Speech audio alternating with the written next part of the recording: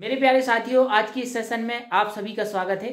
आज हम आपको बताने वाले हैं जो आईटीआई की डिग्री की या डिप्लोमा वाली की जो ट्रेनिंग होती है, चाहे वो बीएचईएल हो, चाहे वो इंडियन ऑयल हो रेलवे हो, कोई भी फैक्ट्री हो तो उसमें जो हमारा अप्रेंटिस का पेपर होता है तो उसमें रिज़ल्ट जो होता है वो कितने समय में आ जाता है और रिज़ल्ट आने के बाद उसकी जो मेरिट बनती है या रिज़ल्ट के लिए जो मेरिट बनाई जाती है, वो कैसे बनाई जाती है और इसमें हमें जो डॉक्यूमेंट्स की ज़रूरत पड़ती है, वो डॉक्यूमेंट्स क्या क्या ज़रूरत पड़ेगी और इसका अप्रेंटिस का जो ज्वाइनिंग का फॉर्म है, वो कैसे भरेंगे?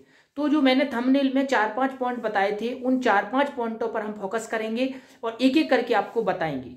तो मैं सबसे पहले जो मेरा पॉइंट था, वो ये था कि जो हमारा ट्रेनिंग के लिए जो पेपर होता है तो उसका रिज़ल्ट जो आता है, वो रिज़ल्ट कितने समय में आ जाता है? जैसे कि बी का आज पेपर हुआ है ट्रेनिंग का सात जनवरी को तो इसका कितने समय में रिज़ल्ट आएगा या और किसी एग्ज़ाम को आपने दिया है तो रिज़ल्ट कितने समय में आएगा?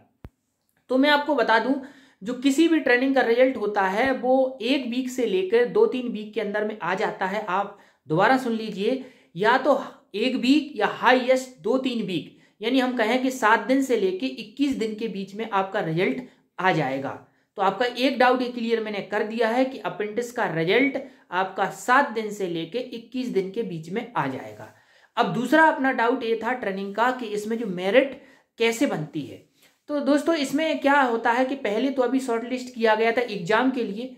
जब हमारा एग्ज़ाम हो जाता है तो इसके बाद हमारा जितने बच्चे होते हैं, उन्हीं, उतने ही बच्चों को शॉर्ट लिस्ट किया जाता है। इसमें ज़्यादा बच्चे नहीं लिए जाते हैं क्योंकि डॉक्यूमेंट वेरिफिकेशन में ज़्यादा बच्चे बाहर नहीं होते हैं या कोई इंटरव्यू वगैरह ऐसा होता नहीं है।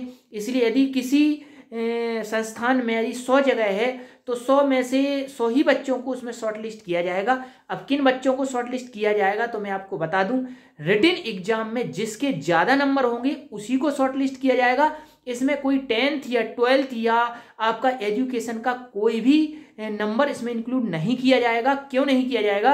क्योंकि जब हमने एग्ज़ाम के लिए या किसी भी कारखाने ने एग्ज़ाम के लिए जब शॉर्ट लिस्ट किया गया तो उसमें परसेंटेज बेस पर उसने शॉर्ट लिस्ट किया। जैसे मैं एग्ज़ाम्पल के तौर पर कहूँ कि भोपाल बी ने जब फॉर्म भरवाए थे तो आपकी टेंथ की परसेंटेज के आधार पर या आईटीआई या डिप्लोमा या डिग्री की परसेंटेज के आधार पर ही आपको एग्ज़ाम के लिए शॉर्टलिस्ट किया है। सारे बच्चों का एग्ज़ाम नहीं कराया है। कुछ बच्चों को शॉर्टलिस्ट करके कुछ ही बच्चों का एग्ज़ाम कराया जाता है। इसमें सारे बच्चों का एग्ज़ाम नहीं कराया जाता है। तो यदि आप शॉर्टलिस्ट हुए हैं एग्ज़ाम के लिए तो वो आप टेंथ की परसेंटेज या आईटीआई की परसेंटेज के आधार पर या डिप्लोमा या डिग्री की परसेंटेज के आधार पर आपको शॉर्टलिस्ट किया गया था। किसके लिए? एग्ज़ाम के लिए। अब आपको ज्वाइनिंग के लिए जो शॉर्ट लिस्ट किया जाएगा, वो केवल और केवल ओनली एग्ज़ाम के नंबर के आधार पर शॉर्ट लिस्ट किया जाएगा। तो मेरिट आपकी बनेगी एग्ज़ाम जो आपने दिया है, उसके नंबर के आधार पर। इसके बाद आपको सीधे सीधे डॉक्यूमेंट वेरिफिकेशन होना है और आपको ज्वाइनिंग लेना है। कोई भी इसमें इंटरव्यू और कोई भी वायवा वगैरह नहीं होगा, ना कोई आपका स्किल टेस्ट होगा। तो दूसरा डाउट मैंने आपका क्लियर किया। तीसरा डाउट मैं आपका क्लियर करता हूँ कि इसमें हमें डॉक्यूमेंट्स या पेपर्स जो है कौन कौन से लेके जाना पड़ेंगे। तो मैं आपको बता दूँ, जब आपने फॉर्म भरा था तो फॉर्म भरा था तो आपने कौन कौन से पेपर उसमें लगाए थे उसमें मैं कह दूँ, जैसे टेंथ की मार्कशीट लगाई थी तो हमें टेंथ की मार्कशीट लेके जाना पड़ेगी।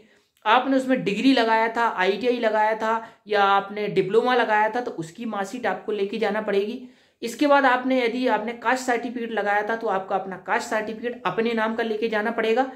इसके बाद आपने उसमें आय प्रमाण पत्र लगाया था, पापा का, पिताजी का आय प्रमाण पत्र लगता है, अपना आय प्रमाण पत्र नहीं लगता है तो आय प्रमाण पत्र पिताजी के नाम का रहेगा। कई बच्चों ने हमसे पूछा था कमेंट करके कि भाई आय प्रमाण पत्र किसका लगेगा?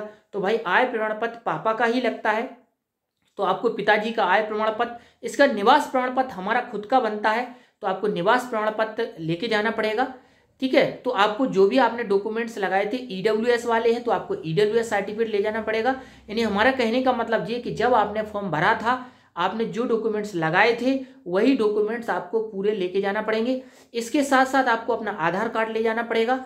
इसके बाद आपने जो फॉर्म भरने के बाद जो प्रिंट आउट निकला था, दो स्लिप में निकला हो या तीन स्लिप में या एक स्लिप में निकला हो, आपको एक्नॉलेजमेंट जो स्लिप होती है वो लेके जाना पड़ेगी। इसके बाद अब आप अभी एग्ज़ाम का जब रिज़ल्ट आएगा तो उसमें जो आप शॉर्ट लिस्ट होंगे तो उसमें एक पेपर निकलेगा शॉर्ट लिस्टेड का वो पेपर भी आपको लेके जाना पड़ेगा। तो इतने पेपर आपको कलेक्ट कर लीजिए जो आपने फॉर्म भरने में लगाए थे, वो सारे पेपर और आप जो शॉर्ट लिस्ट का अभी रिज़ल्ट आएगा, आठ से दस दिन में रिज़ल्ट आएगा, भोपाल बी का या अन्य किसी एग्ज़ाम का तो वो एक पेपर निकलेगा, उसका प्रिंट आउट आपको लेके जाना है। इसके बाद आपको फॉर्म कैसे भरें हैं बीएचएल की अप्रेंटिस का ज्वाइनिंग फॉर्म कैसे भरें या किसी अन्य संस्थान में आप अप्रेंटिस कर रहे हैं तो उसका ज्वाइनिंग फॉर्म कैसे भरें तो इसकी मैंने एक वीडियो ऑलरेडी अपने चैनल फिटर फाइटर पर बना रखी है।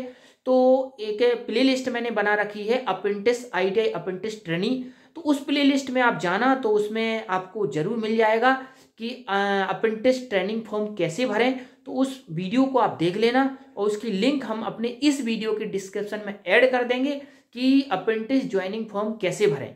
तो वहाँ से आप देख लेना, क्योंकि वो वीडियो काफ़ी बड़ा है, मैंने फॉर्म भर भर के आपको दिखाया है, कहाँ से कौन सा नंबर लिखना है, कैसे क्या करना है। तो उस वीडियो को आप देख लेंगे तो आपका फॉर्म भी भर जाएगा, आपके डॉक्यूमेंट्स भी क्लियर हो जाएँगे, उसकी लिस्ट मैंने बना रखी है। और दोस्तों, कोई भी दिक्कत हो, मैं हमेशा आप लोगों के लिए उपस्थित रहता हूँ, चाहे आप आई वाले हो, चाहे डिप्लोमा वाले हो, चाहे डिग्री वाले हो, आप कमेंट करेंगे, हम उसका जवाब ज़रूर देंगे।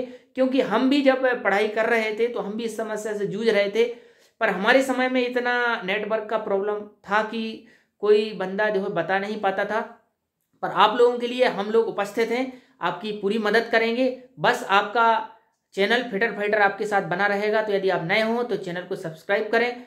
क्योंकि आपकी जॉब जब लग जाएगी, आप अभी अप्रेंटिस में पहुँच जाओगे तो भी हम उससे रिलेटेड कई सारे वीडियो डालते रहेंगे। जॉब की लगने के बाद भी जॉब में क्या करना है पीएफ कैसे भरना है। तो ये जो चैनल है, आप, मैं भी नौकरी वाला हूँ, आप भी नौकरी वाले रहेंगे तो इससे आपको प्रॉफिट या फ़ायदा होता रहेगा।